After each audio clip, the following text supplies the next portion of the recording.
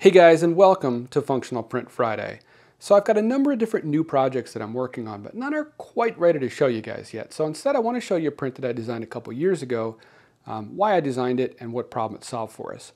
So we're down in the basement of my house and this basement was not originally a finished space in the house. It was originally just you know concrete floor and concrete walls. Uh, the people that we bought the house from, they finished the basement, or they sort of half finished the basement. Uh, there was no uh, heating or cooling down here. And we've since added a few vents. There's one over here at the bottom of the stairs where they come down. Um, there's another one over on the other side of the basement, but there was no intake vent for the air handler. So really it was kind of counting on uh, these vents pushing air into the space and it making its way upstairs uh, to get cycled back into the heating system. The air handler for the, the heating and cooling system is on the other side of this door. Let me show you.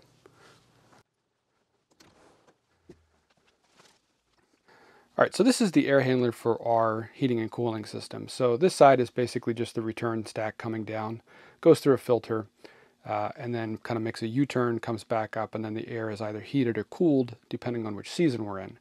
Um, again, the problem is it's sucking air in from the first and second floor of our house, but wasn't sucking any air in from the, the basement down here. So what I did to fix that was just to simply cut a hole up here in the return stack. Um, and you can see after I cut the hole, I added a piece of tape here to kind of tune uh, the amount of air that's coming into the system.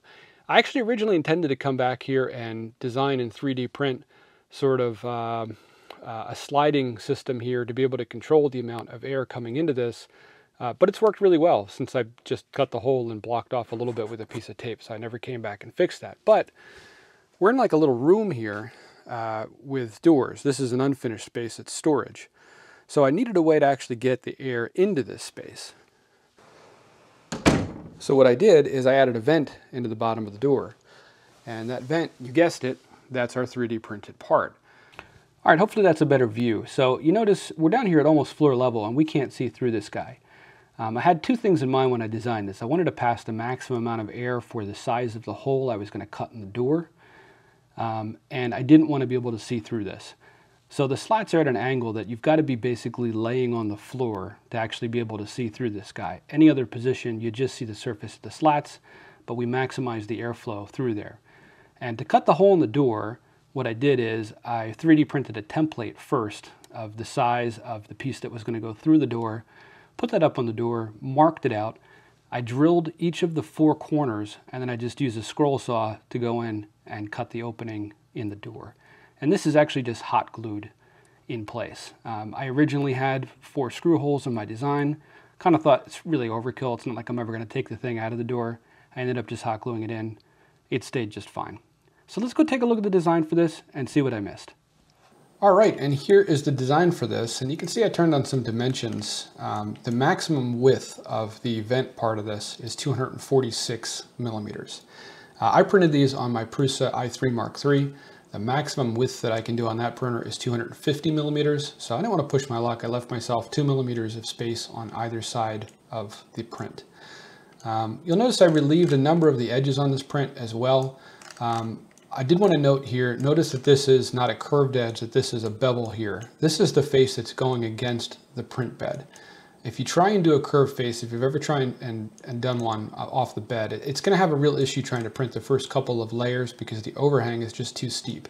But if you do a 45 degree bevel, it looks just as nice from my opinion, and you're going to get a much cleaner edge here. Uh, also notice since this is the face that's going down against the bed, the slats extend all the way to the very front edge of this vent uh, so that there's no supports required. This contacts the bed just the same as the border um, of the, uh, the front face of the vent. Uh, this thickness here is determined by the thickness of your door. You could easily modify this if you have a thicker or a thinner door, or if you're going to instead use this in, uh, in just a wall or something else thinner where you don't need this full depth. Uh, the slats do come up about three quarters of the way, uh, but you could reduce them in height as well. Just keep in mind if you reduce the height of these, if you don't want to be able to see through the vent, you may need to increase the angle that they're laying over um, to be able to block uh, someone seeing through that if you don't want, um, you know, if you don't want to be able to see through the vent. Now, I cut the corners off as well. Again, that's just purely aesthetic. Uh, and the other piece here is the template. This is the part that I printed first. uh, and I just taped this to the door across the middle section here, um, and then traced this, uh, and then I drilled each one of the four corners and then connected those holes with a scroll saw in the door. Do take time to make sure you're cutting straight. Um, I didn't show you in the inside of my door, but the cut's a little crooked on one of the faces because just given the thickness of the door, it is a little bit tough to stay straight when you're only seeing just the side of the door that you're, that you're cutting. So I think that covers pretty much all the design features on here.